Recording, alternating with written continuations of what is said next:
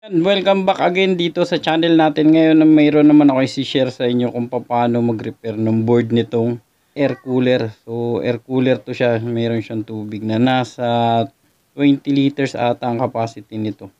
So dito step by step papakita ko sa inyo kung paano ko ito i-repair. So yung main board niya mismo yung may ano dito.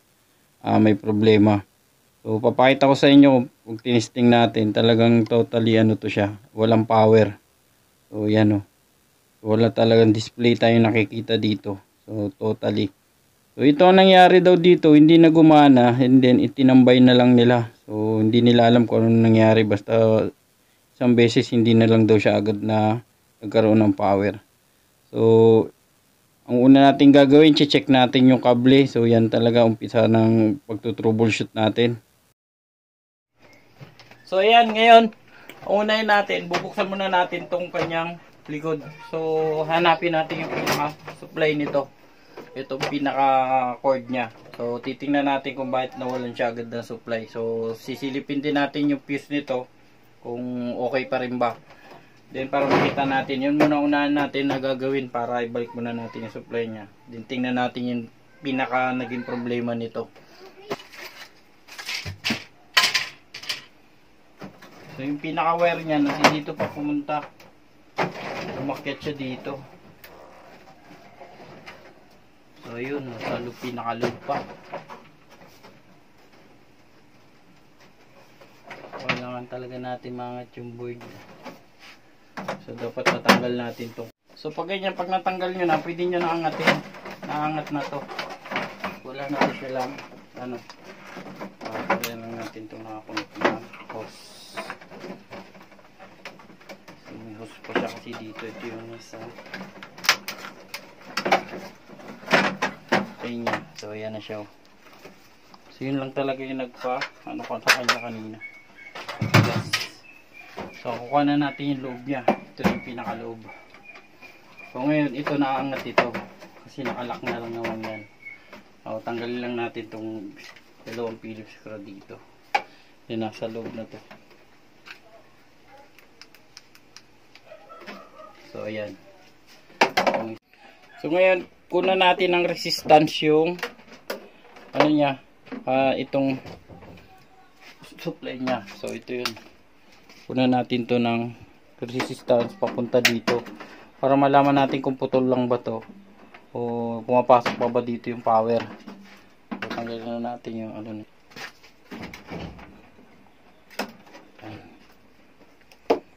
So, ito yung dalawang wire niya.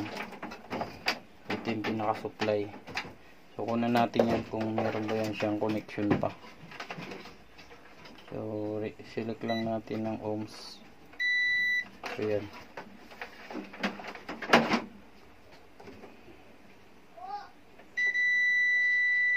So, ito meron. Pwede pa tayo sa kabila. So, mukhang yung kabila wala ah.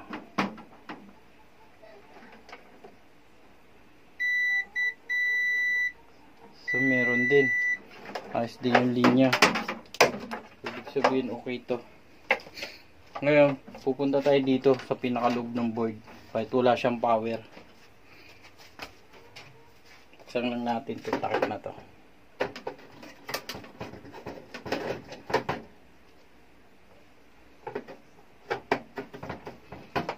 So ito na yung pinaka ano niya eh.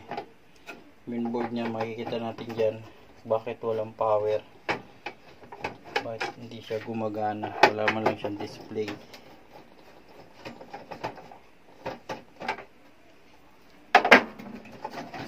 So yan. Ito na yung pinaka board niya. So ito pala may transformer siya oh. So possible na dito po rin ang problema nito. So 220 ang output niya is 10 volt AC. Ngayon linisan ko lang to tapos tatanggalin natin siya para makuha natin kung ano nangyari dito sa board na to. Bakit nawalan siya ng pinaka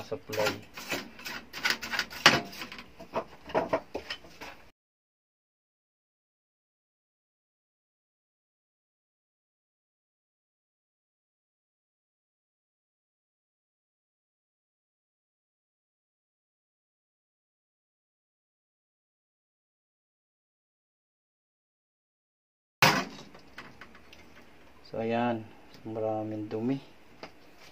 Ito meron siyang fuse. Pwede natin dumasukat yung fuse na to kung okay pa ba to.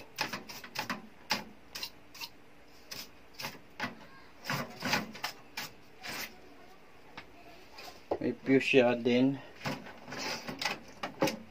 Meron siyang ayun, may mga natanggal na oh.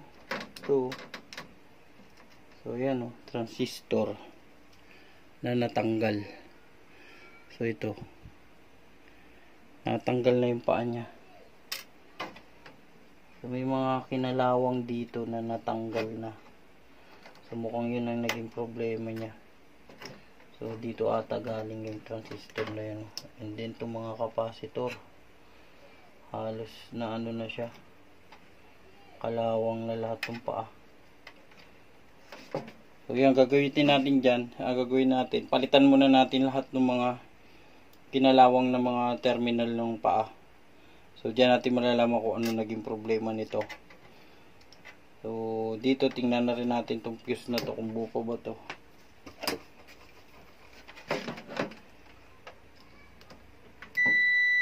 So ayos yung fuse. Malamang ang problema nito dito sa mga pesa lang na kinalawang na. So yan, nandi dito lang yan. So ang gagawin ko, tanggalin ko muna to dito sa board. Yung board niya. Tapos yun, isa-isayin natin palitan ng mga kinalawang na board. Din tingnan din natin to transformer na to. Kung ito ba is ayos pa or hindi na. Para makapalitan natin kung ito ba talaga may problema na rin. So kaya ang gagawin natin, tanggalin natin to dito. So naka-color coding naman ito. So ayan siya. So, tatanda lang natin itong power sa kano. Ito yung violet. So, yan. Tapos yung blue sa blue, yellow and puti. So, itong dalawa dito na brown and ano na to. So, ito yung nasa capacitor. Ah, nasa motor. Ito, nasa motor to. Dalawa yung isa naman. Yung isa is nasa common. So, nandito sa isang capacitor. So, yan. Nakaganyan sila. So, bali may nasa common yung kulay itim. Yun, ganyan lang.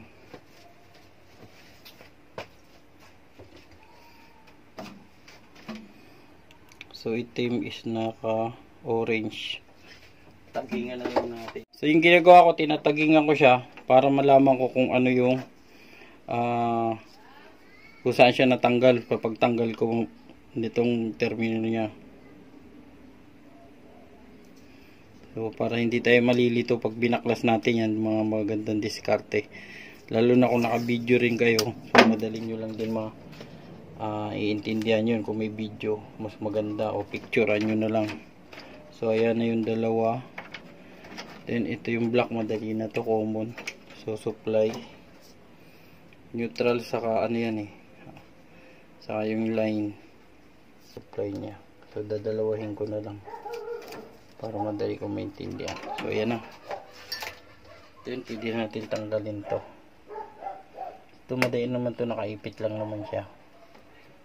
Hindi mamaya pwede rin natin siya ibalik. So yan so yun na. Itabi lang natin yan. Mabagamit pa rin natin mamaya. So yan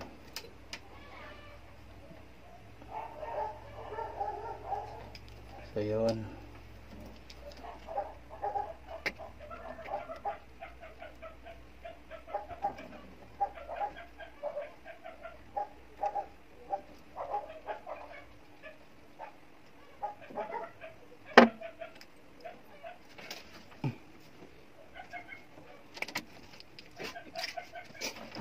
Ito yung common.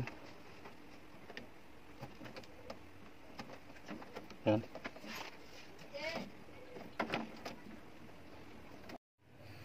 So ngayon ito na yung board. Uh, natanggal na natin siya. So makikita nyo dito yung may mga kinalawang.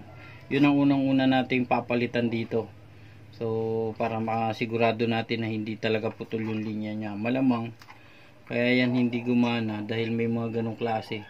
So kagaya nitong isa na wala na rin yung kanyang capacitor. So ayan wala dito. Ito, ito yung transistor may nandito dito naman. So itong capacitor naman na to putol na rin. Pinalawang na rin. So yan o. Oh. Para siya nabasa ng tubig. Yan yung mga lead parang mukhang pundi na. Itong isa. Pundi na to. So yan. So dito para may nasunog na rin. Papalitan na rin natin yan.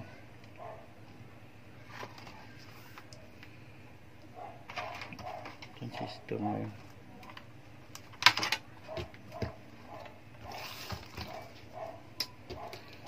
So yung nasunog na at naputol na transistor dito is ito eh.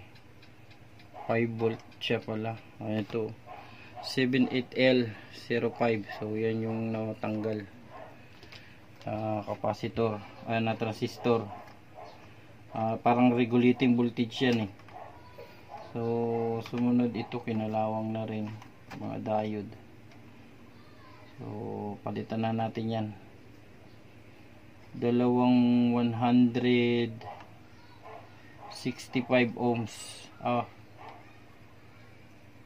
160 560 ohms dalawa tatlo so bali apat palitan natin tong apat na to so to dito mukhang okay pa naman and then yung capacitor lang dito hindi natin malaman kung anong klase yung natanggal dito So yan. May nakasulat siya na C104. Ah, parang mga mailer lang ito na capacitor. Yung mga ganitong klase na tanggal. So yan, madali na lang hanapan yan. So hanapan ko muna ng mga pesa din ngayon para maibalik na natin sa isa. So yan unahin muna natin palitan yung mga natanggal na mga pesa din bago natin masusubukan ulit ito. So napansin nyo naman na marami siyang natanggal doon sa loob kasi nga kinalawang siya saka nagkaroon siya ng mga corroded na yung mga mismong paanong terminal. So gagawin natin, palitan na muna natin lahat ito para masubukan ulit natin.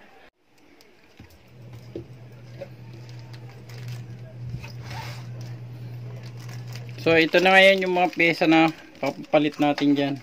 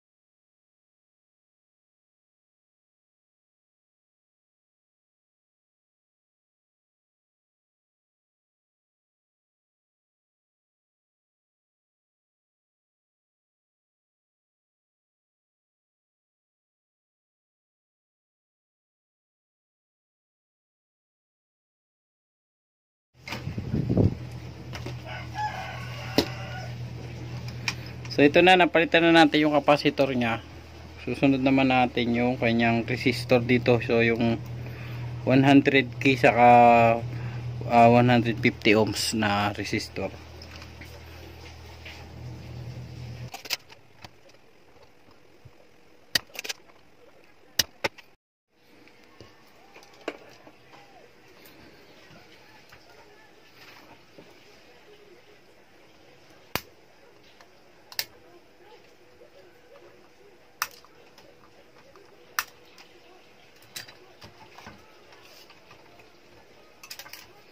So ayan na, napalit na natin yung resistor dito. So okay na to dito sa area na to.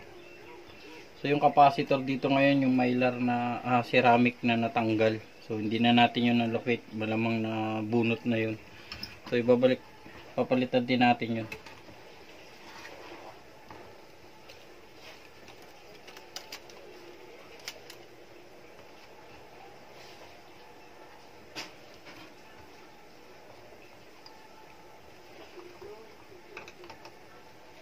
Ito yung pinaka-term paan niya eh.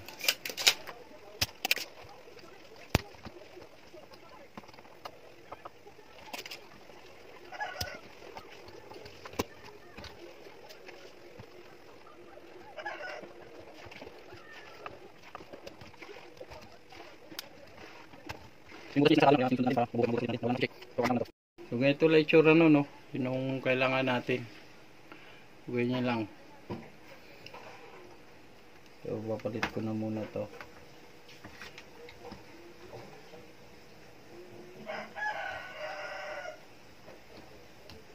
Ayan.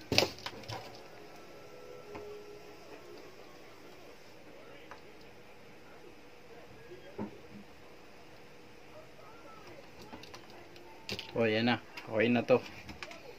So, meron na tayo dyan. Yung regulator, yung transistor na ano. Ah ito, yung regulated na transistor na to. Ito yung papalit natin. So, yun dito na natanggal. Yung tatlo na yan.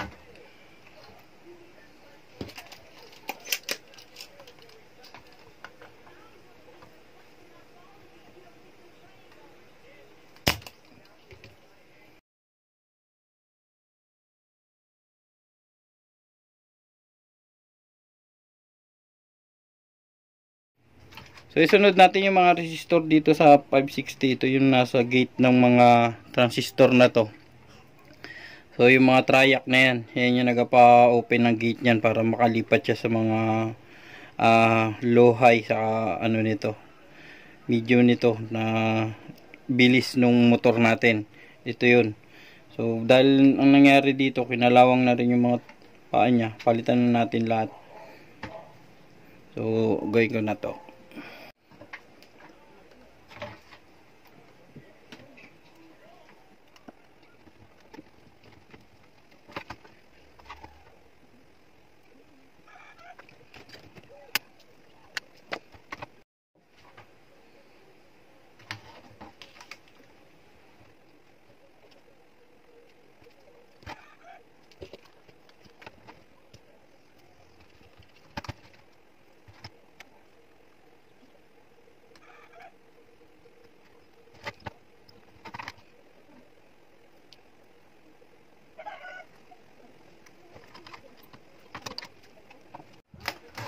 Ngayon ito na pwede natin try to.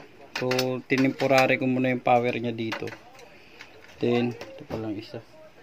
Then tinape ko na lang yung mga ano niya wire niya. So makikita naman natin yan kasi ang importante lang mapapower natin siya. Then makita natin dito kung may lumabas na supply habang nililipat natin siya ng ano niya, speed niya. So testingan natin.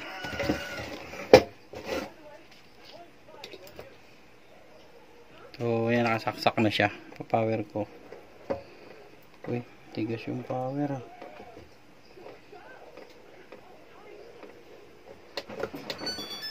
So, yun ang mood. Kumana siya.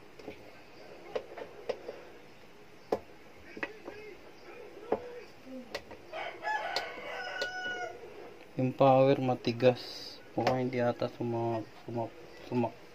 So, ganito yung lumabas sa kanya. So yan. Ngayon check natin ulit kung ano pa yung naging problema nito. So ngayon para malaman natin yung kanina na kung ayos ba talaga yung ano kasi lumabas lang doon kanina yung mikot tumatakbo lang dito yung indicating light. So titisting natin ulit siya. Gagawin natin para ma-power on natin yan. So yung button dito sa sa power niya susundutin natin yun. So yan. Ito yung power niya. So ayan oh. Yung button niya lang at may problema. So nagkaroon siya ng power ko. Nabunot. Mga galaw. So ulitin natin.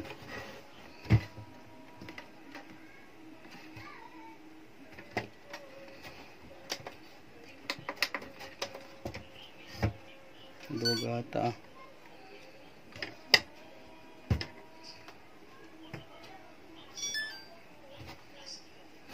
So yan lang siya, di ba? So ganun lang ito atak mo sa kanya ngayon. Susundutin natin tong button dito sa power na to. Ito to.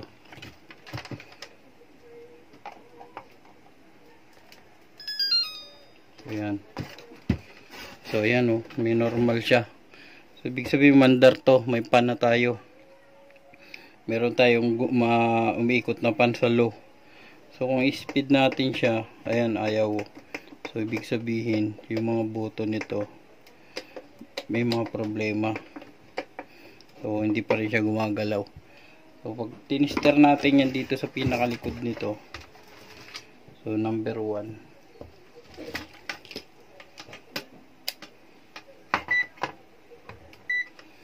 So, magkakaroon yan siya ng voltahe. Dapat may makotay, may masuka tayo dito.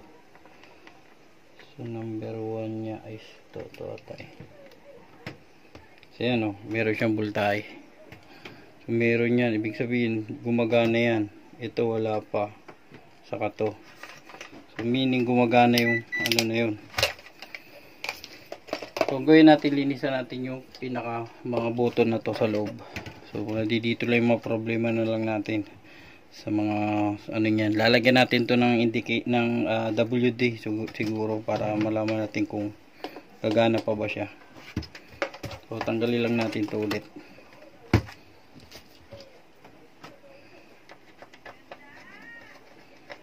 So, ayan, nalagyan na natin siya ng WD. So, yung mga contact. So, nangyari, ayaw pa rin. So, tinitester ko siya dapat makakuha tayo ng signal dito so ayaw pa rin siyang gumana. Nagaya ng saan yun? Itong power na to. So dapat ito meron tayong makuhang uh, resistance dito once na dinidiin natin to dito. Ayan o so wala. So lahat yun ng mga push button na to gagawin natin papalitan natin yan. Yan lahat ng mga buto na yan. Malamang yan na yung pinaka problema niyan kaya ayaw natin hindi siya mailipat so kukuha lang tayo sa mga ganitong board. So galing to dun sa mga TBD yan marami yung mga push button.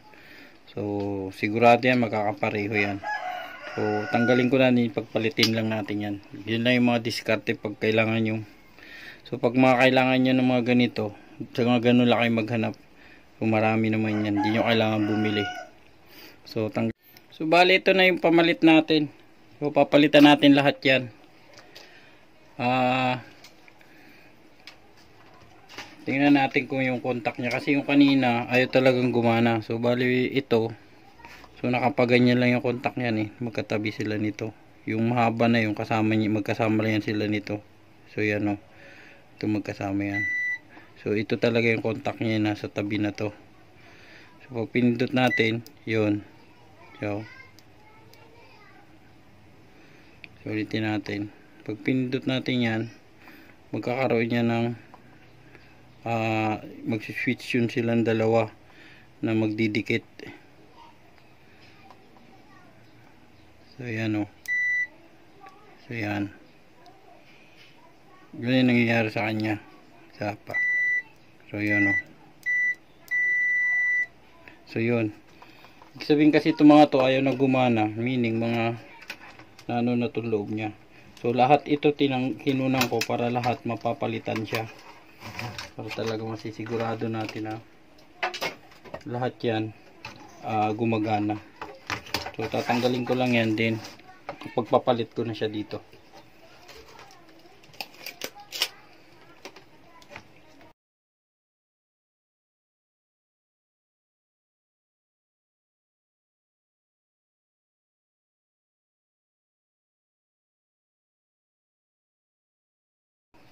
So, yan.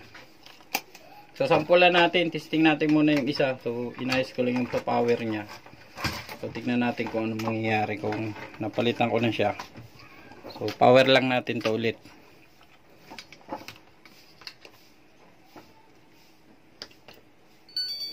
So, pa-power ko siya. Kasi yun, gumana siya oh. Isang pindot pa lang natin ng power na buhay na siya. Talagang may problema yung push button na yun. So lahat nito papalitan ko na. So ayan, naikabit ko na lahat. So yung mga push button na mga hindi gumagana dito, lahat napalitan natin ng bago. So baka ito lang talaga malamang ang problema nito kaya siguro na itambay ito. Kaya yung mga pyesa niya kinalawang na. So yun yung naging problema nito malamang dahil doon sa push button na hindi gumagana. Akala nila sira na yung unit ayaw na gumana yung pala nandito lang sa push button so ang gagawin natin ngayon palitan natin to ng ilaw so wala kasi siyang power So ito, sira malamang itong LED na to. So palitan natin kasi tatlong paa to eh. So papalitan din natin yan para makumpleto na natin yung circuit na lahat gumagana siya bago natin to testingin. So dun sa mga ah, ano mga baguhan lang na makaka-encounter kayo ng ganyan. So ganun lang yung simple. Unahin nyo yung mga switch nyo. Kung hindi gumagana, i-direct nyo sa likod. Sundutin nyo lang, ipagdikit nyo lang yan. Para malaman nyo talaga kung sira ba talaga siya. Kasi mahirap mag-troubleshoot pag yung hindi mo alam yung unang-unang system na gagalawin mo. O ito trouble mo. Kailangan magsisimula ka muna sa power switch. Then bago dun sa system. So ganun yung pagto-trouble niyan. So ngayon, tanggalin ko na muna to para makuha natin, makapalitan natin.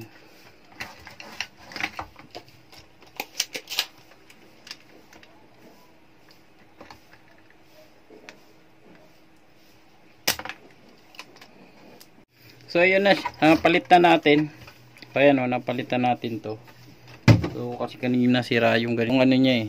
So ngayon, napalitan na natin siya. Yan. So titingnan natin kung pa-power yan. Pero ibalik ko na muna para diretso na yung pagkagawa natin.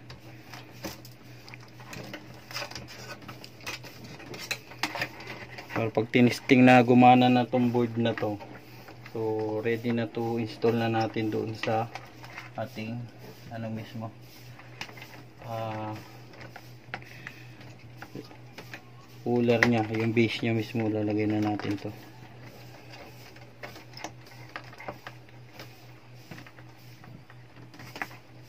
So.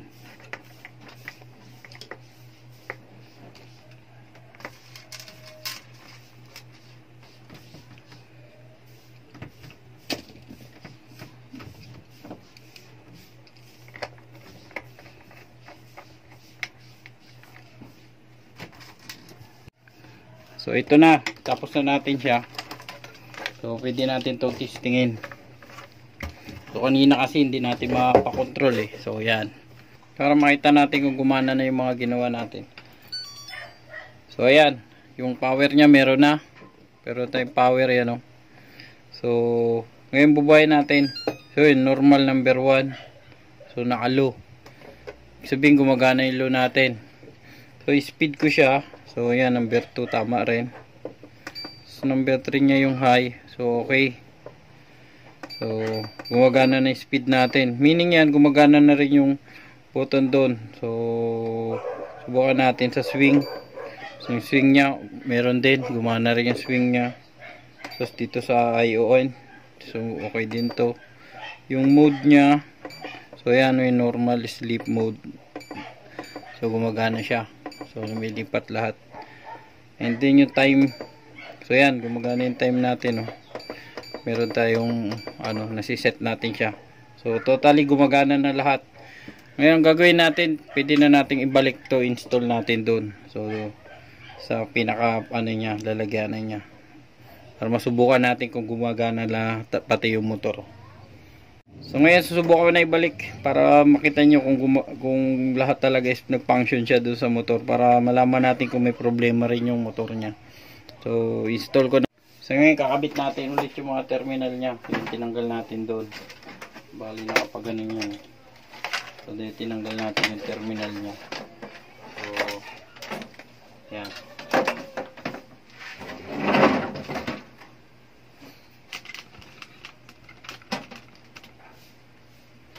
So kanina nagtaging tayo nung connection niya. Yung power is ito yung power. So, ito yung power. Yan. Power yan yung dalawa na yan. So, pwede natin yan ibalik. Para So, titip na lang natin to para mas mabilis. Masubukan agad natin.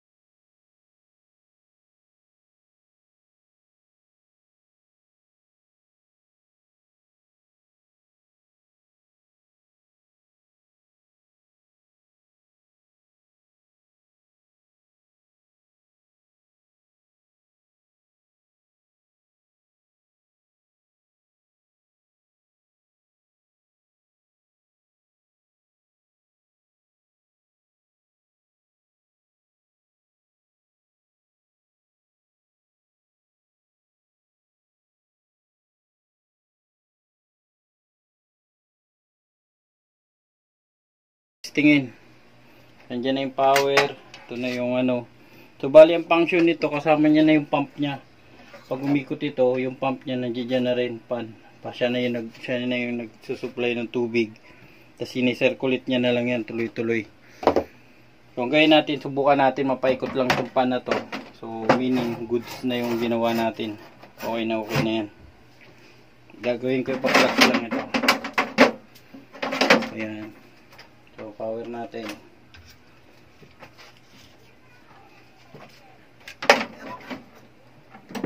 Oops, sumali. So, power.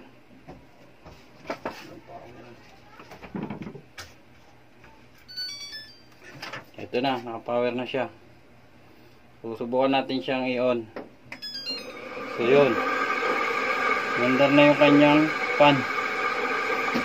Ayan o, kita nyo doon sa pinakalob. Mandar na yung pan niya.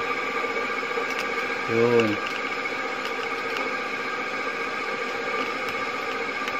So, yan ang pan niya. Tinagawin ko number 2. Para So, yan number 2 niya. Ayan, number 3.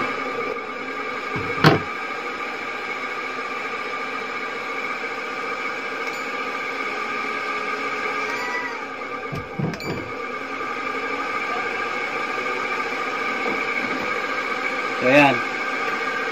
Yung hangin pala. Oh.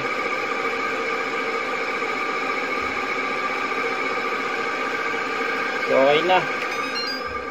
So, yung gawin natin, ipipix ko na to para ma-final na natin.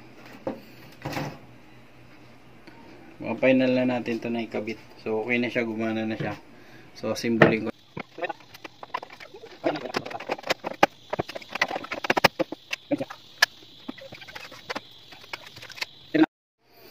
Ngayon, ito na. So, ayan, titistingan natin siya. So, power natin. So, ayan, oh. Kung makikita nyo.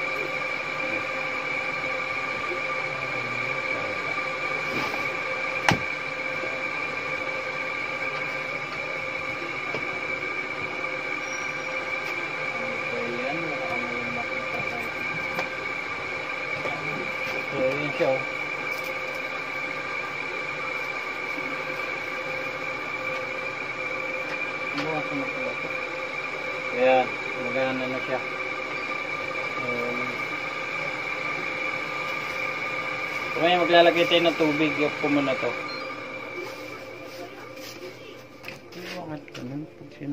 So ngayon lalagyan natin ng tubig na to. Ito yung pinaka ano nito eh. Ah, lalagyanan niya. So gusto ko sana i-direct eh. So ayan nga, testingin natin siya. Nalagyan ko na siya ng tubig. So nangyari sa kanya, ang nangyari sa kanya, dadaan dito yung tubig sa babaw na to. Dadaan dito, pababa. So yun yung magpapalamig sa kanya. Kaya dito ko maglalagay ng ice niya. So tingnan natin kung ano mangyayari. So sa speed 1, hindi masyadong malakas yung tubig niya. So yan lang oh. Kailangan nasa dalawa, nasa speed 2 siya. So yan yung tubig na dadaan dito. So itong mababasa itong parang ano na to, karton na to. So yun yung mahihigupin ng ano para lumamig. So yan, nagbasa na nga ako dito. So tabit natin to para hindi tumapon yung tubig. So pag ganun lang siya. So yan. So ito yung sasalo ng tubig na dumadaan dyan. Kaya hindi naman siya mababasa yan dyan. So start natin. So yan, number 2 tayo. Papansinin nyo, yan yung dadaanan ng tubig na galing dito. So minsan may malamig dyan, pag nilagyan natin ng ice, lalamig yan. Yun ang hihigupin niya para lumabas doon. So ganun yung pinaka, ano niya, ang function niya. So yan, kapansin nyo, wala na siyang tubig na dumaan dyan. Kasi dito na lang siya tumutuloy. Kaya hindi siya mababasa talaga. So dito medyo nagbago yan. Malamig na yan. Kaya once na maglalagay ka ng tubig dito banda, ibabaw nito, ah, ng ice. Ah, So, lalagyan mo yung ice dyan para mas lumamig yung tubig na bumababa dito. So, yun. Bali, lalamig din yung lalabas dito sa kabila niya. So, ayan siya. So, pag nabasa na yan siya, medyo basa siya at pwede naman siyang patayin. So, pwede ka magbawas dito. Pwede ka magbawas na dyan. So, yan. Pwede ka naman magbawas dyan. So, ganun lang yung function niya. Then yung tray, pwede natin po ibalik. So, yan. Parang ganyan. Tray niya. Para hindi madumi yan. So, yung cover, medyo malaki po yung ice natin. Mamaya lalambot din yan.